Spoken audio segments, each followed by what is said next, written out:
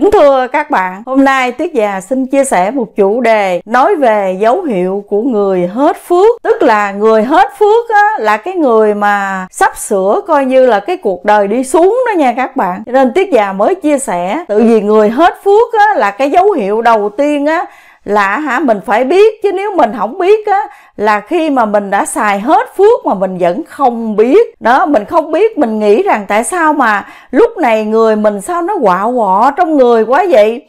Tự dưng vậy đó các bạn ơi. Tại sao như vậy? Tại vì mình hết phước thì ma chướng nó đến liền luôn. Nó làm cho con người mình tự nhiên mình ganh tị nè, mình hơn thua nè, mình ngạo mạn, mình sất sượt nó ngày xưa coi như là mình rất là phóng khoáng à, mình rất là thương người nè. Cũng như là mình có tiền mình biết chia sẻ cho mọi người. À, mình có những cái gì mà ngon ngọt những cái gì hay ho mình biết chia sẻ cho mọi người. Còn bây giờ mình gom hết về mình.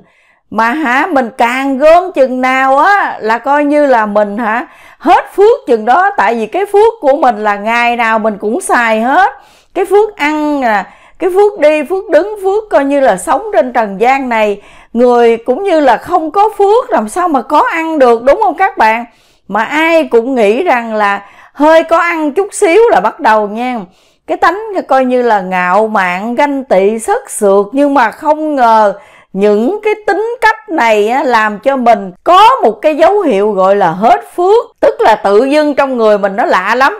Mình thấy người ta ăn mặc đẹp hơn mình cái mình cũng tức mình thấy người ta giống như là hả giàu sang hơn mình mình cũng hả ghét. Người ta đẹp hơn mình mình cũng bực nữa. Đây là cái tính gì? Cái tính ích kỷ cái tính hơn thua. Cái tính không phải là hả con người có cái tấm cái tấm lòng mà gọi là à, bao bao la rộng mở nè. Người mà hả giống như là hả giàu phước báo là người gì có tấm lòng từ bi nó cái hạnh từ bi là cái hạnh giúp cho chúng ta có được hả? Coi như giữ được cái phước của mình mà sống mãi mãi luôn. À, nếu như mình hết phước thì coi như là mình sống hả? Cái cuộc đời nó rất là khổ luôn. Coi như là hả vợ chồng sống với nhau nó cũng không có hạnh phúc nè các bạn. Rồi ly dị nè. Đó các bạn thấy không? Con cái của mình là bắt đầu nó bệnh tật nè còn nhỏ thì nó bệnh tật nó ốm đau khi nó trưởng thành rồi các bạn biết sao không? Nó đi theo những cái, gọi là hả, những cái người hung ác, nó bày đàn nó, coi như là hả, nó đánh lộn, nó tất cả những gì nó làm cho chúng ta coi như là rất là khổ. Nếu như mình muốn mà giữ cái phước của mình á, để mình xài lâu á, thì các bạn biết sao không? Mình phải hả, giống như là thương tất cả. Cũng như là trong kinh có câu, thương đồng loại còn hơn thí bạc thí bạc là mình đã có phước, đúng không các bạn? Thì bình thương đồng loại còn hơn thí bạc, tức là cái phước nó còn hơn như vậy nữa đó các bạn. Nếu như mình không tạo phước, thì coi như là dần dần mình, cái cuộc đời mình đi xuống. Rồi nói sao là mình khổ nè mình nghèo nè, mình không có cái sự sống trên trần gian, mình làm hoài cũng không có tiền. Mà tại sao mà người ta cũng như là làm chơi chơi thôi. Một tháng người ta kiếm cả trăm triệu, hai trăm triệu. Cái đó là chuyện, hả, gọi là bình thường, đúng không các bạn? Còn mình tại sao mà mình kiếm tháng một tháng kiếm có 10 triệu? Mà nó rất là khó khăn. Cho nên bây giờ, á tiết già chia sẻ để các bạn, đổi tính lại. Thay vì mình nhìn cái chị đó, mình nói trời lúc này hả thấy chỉ hả à, cũng như là hả đi cặp với người này người kia chỉ làm vợ bé vợ mọn. Ờ, à, chỉ hả giống như là xe xua. Ờ, à, chỉ hả tóc tai tất cả những gì cái này là bà tám nhiều chuyện đúng không các bạn? Ganh tị. Cho nên kệ chỉ chỉ làm gì kệ chỉ mình lo cái thân mình nè. Cái thân mình gọi là hết phước rồi. Cái dấu hiệu ganh tị này là dấu hiệu hết phước mà hết phước là các, các bạn biết không? Làm cái gì nó cũng không có được hết luôn. Đó, thí dụ như các bạn mở hàng ăn mua bán tất cả cái gì hả bán cũng không ai mua luôn. Cũng như là hả cái người mà hả sắp sửa hả hết phước là tự nhiên gì nè thấy ai làm phải làm lành xỉm dèm cho đặng khoe danh của mình. Cũng như thấy người ta đang làm cái việc thiện việc lành cái tự nhiên mình đấy hả trời ơi làm gì hả? À, giống như là vụ lợi hay là tất cả những gì mà làm sao biết người ta vụ lợi? Mình coi như làm sao mình biết được cũng như là cái tấm lòng của người ta làm thật hay làm giả. Nó rất là khó đúng không các bạn? Đó thì cái này là dấu hiệu gì? Cái dấu hiệu mình sắp sửa mình hết phước rồi. Tại vì mình hết phước là ha bắt đầu cái đồng tiền mình nó sẽ eo hẹp. Nó có những cái tánh ganh tị á các bạn. Người mà hết phước á các bạn biết không? Thì hả, giống như là có cái sự nó quạo quọ là bắt đầu nó muốn gây sự, rồi nó muốn hơn thua, nó muốn hại người. Đó, các bạn thấy không?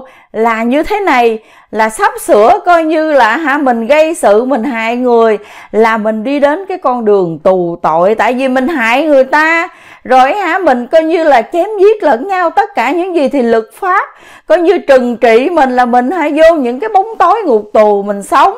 Cái đây là chưa nói về vấn đề tâm linh nha các bạn. Nói về tâm linh hả, coi như là hạ ma chướng nó đến. Coi như hả, nó khiến xui cho mình, làm toàn những cái chuyện sai trái không. Nó làm cho mình không có còn một cái sự sống trên trần gian nữa. Bởi hả, người ta nói rằng là như thế này nè ăn hiền ở lành. Cũng như hả có một người nào đó ta nói sao dạo này hả à, thấy chị làm ăn khấm khá quá hoặc là thấy anh á à, làm ăn cũng hả được ghê và tiền bạc cũng rủng đỉnh hen. Cái tự nhiên cái mình gặp người ta mình nói gì thì người ta sẽ trả lời như thế nào các bạn? Nhờ ăn hiền ở lành. Đó có khi nào mà cái người nào mà có tiền mà người ta nói trời ơi nhờ chém giết mới có tiền á. Các bạn công nhận điều đó không? À, nhờ hung dữ cho nên mới có tiền á. Đâu có khi nào mà có cái câu đó bao giờ đâu. Hung dữ càng hung dữ chừng nào là càng đi đến khổ đau. Càng hơn thua chừng nào là càng hả dấu hiệu hết phước. Mà khi hết phước rồi các bạn biết không? Cái đồng tiền lẻ cũng không có nữa đừng nói chi mà đồng tiền chẳng mà người có phước rồi đó là người ta tự dưng người ta thích gì nè? Thích cúng lại thích đọc kinh à, thích niệm phật. Nó thích gần những bậc đại trí thức thích ha cũng như là à, lại à, thần thánh tiên phật tất cả những bậc mà gọi là hả những à, những người mà giống như hả à, thấy mà hả phật tiên mà gọi là sợ đó các bạn thấy không? Là sắp sửa coi chừng nó hết phước nó nó đơn giản vậy thôi. Người mà mà hả, cũng như là có phước nhiều là người ta sao nè? Người có lòng từ bi. Nó, người có lòng từ bi là tự nhiên hả, đông đầy cái gói phước của mình. Nếu như mình là người có phước á, là tự dưng ha là ha mình có tấm lòng rộng rãi à. Các bạn có nghĩ rằng là nếu như mình không có tiền làm sao mình rộng rãi được, đúng không các bạn? Mà nếu như mà ngược lại mình có tiền á mà hả mình ki bo là coi như là mình cũng hả sắp sửa có dấu hiệu hết phước nữa. Mình hả mình không phải là mình à, à, ki bo nó khác còn cái vấn đề tiết kiệm nó khác nha các bạn. Ki bo là giống như là mình keo kiệt à, mình hả sống cũng như là lúc nào mình cũng hả để cho người ta trả tiền cho mình mình hơn thua với người ta. Còn cái người tiết kiệm nó khác. Cái người tiết kiệm là người ta sống cái hạnh từ bi nha các bạn giống như trong nhà người ta không có xài gì hết á. Người ta mặc quần vải, áo bô, rồi xong người ta làm tiền thật là nhiều luôn. Mà người ta dành cho cha, cho mẹ, cho ông, cho bà, cho con, cho cháu, cho người thân, cho tất cả những gì mà hả, coi như là hả, cho rộng rãi ra đầu tiên thì dĩ nhiên coi như là mình tu cái đạo nhân, mình phải lo cho tròn trách nhiệm. Giống như là hả, trong gia đình mình, đúng không các bạn? Rồi, mình mới tới hả, người ngoài, đúng không? Cái đó là tiết già nói thật. Chứ không có khi nào mà giờ mà ai mà hả, cố gắng mà làm kiếm tiền cho thật nhiều, mà để hả, bỏ cha, bỏ mẹ, bỏ ông, bỏ bà, bỏ con, bỏ cái, bỏ vợ, bỏ chồng mà đi lo cho người khác, thì cái này nó cũng hơi gọi là kỳ nó, trước tiên mình lo đầy đủ gia đình mình, khi mình dư tiền là mình muốn lo cho ai mình lo. Đó, cái, đó là cái dấu hiệu của người sao có phước hưởng đời đời luôn. Các bạn thấy không? Còn nếu như mình tự dưng á, mình làm tiền thiệt là nhiều, cái mình không cho ai hết. Thậm chí cha mẹ, ông bà, anh em, vợ con gì cũng vậy luôn. Nó, có nhiều người mà hả, giống như mà có vợ, mà không có chịu đưa tiền cho vợ nó rất là lạ luôn. Bây giờ á, cái lý do này á, nó cũng dễ ly dị nữa cái đó nói thật luôn. Rồi mình nói đi mình phải hả nói cho nó nó đúng nói lại ha. Nói đi rồi nói lại nè. Nhiều khi đưa tiền cho vợ mà người vợ xử cái đồng tiền nó không có đúng nữa cờ bạc rượu chè. Tất cả những gì trên trần gian bây giờ nó rất là hỗn loạn đó các bạn. Cho nên tiết già học biết nhiêu chia sẻ nhiêu thôi thời buổi bây giờ kỳ lắm. Có người giống như là hả, nó chạy theo cái sự mà à, dấu hiệu hết phước mà tất cả chúng ta không biết.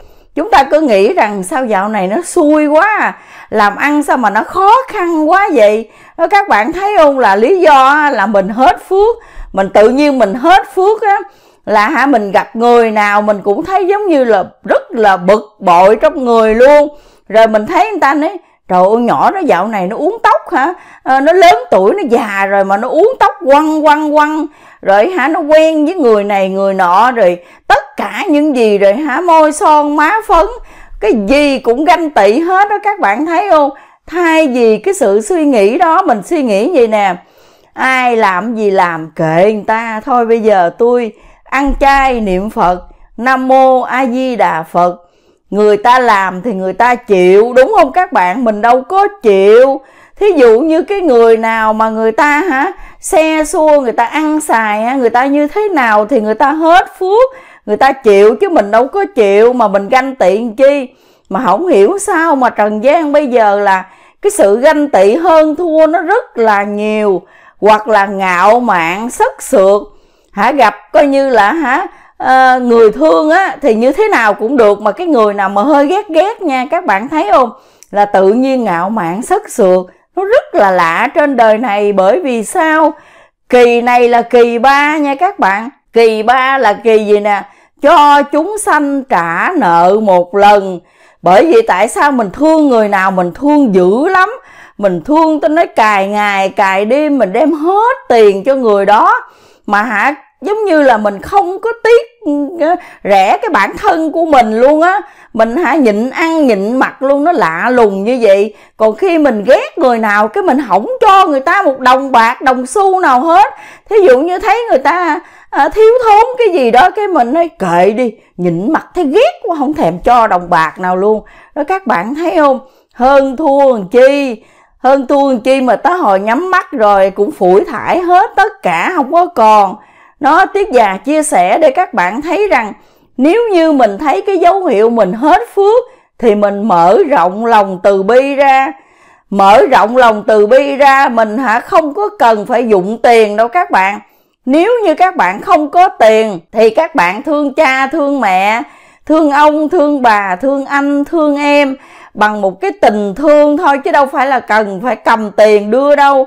Rồi các bạn lại phật nè nó rồi các bạn đến gần những cái bậc mà gọi là giống như là thượng thận trí thức.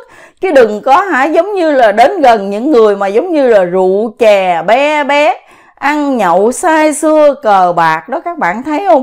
Nó tất cả những gì hết phước rồi, nó dắt mình đi cái con đường ác nghiệp xấu xa, con đường mà tồi tệ để cho chúng ta không còn mà hả, cái sự sống nữa.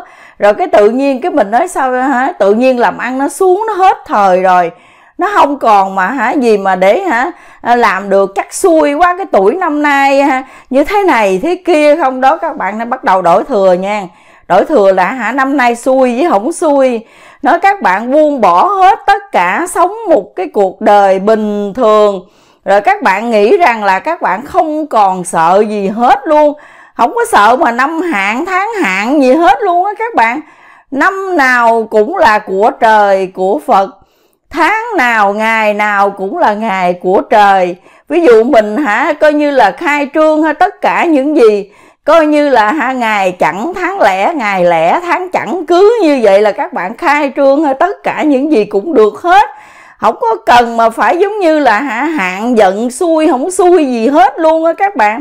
Coi như là hả, đức năng thắng số cái phước nó giúp cho chúng ta thắng hết tất cả những gì mà xấu xa trên mặt trần gian đó các bạn rất là lạ lẫm luôn Tiết giờ xin kính chúc tất cả các bạn ai cũng đông đầy gói phước để đừng bao giờ mà hả có dấu hiệu hết phước là hả mình sẽ coi như đi đến cái con đường khổ đau và không còn tiền để sống trên trần gian nữa. Video Tiết Già chia sẻ đến đây kết thúc. Xin chân thành cảm ơn tất cả các bạn rất nhiều. Hẹn các bạn gặp lại video tiếp theo.